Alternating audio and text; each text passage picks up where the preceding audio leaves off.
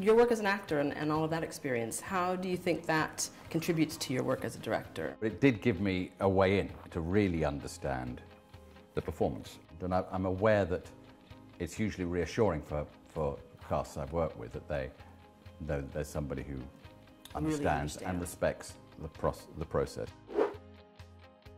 I always want to represent everybody. I want to, uh, as a director, and when you talk about having been an actor, I, I always want to push all the characters as far as they can go and make them all kind of uh, interesting, complex, if possible.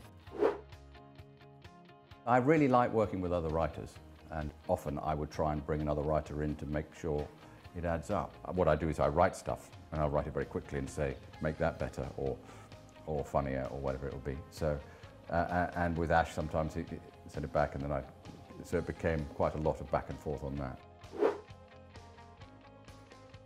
There were certain things within the documentary which were like touchstones.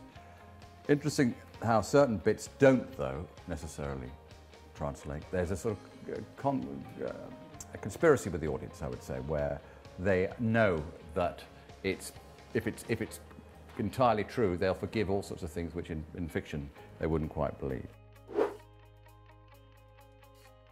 Just being alert to all the different tools and continually, as they change, changing yourself. And the adaptability, it sounds like, as well. Yeah, Yeah. yeah, I think to be adaptable is, to be light on your feet is really important.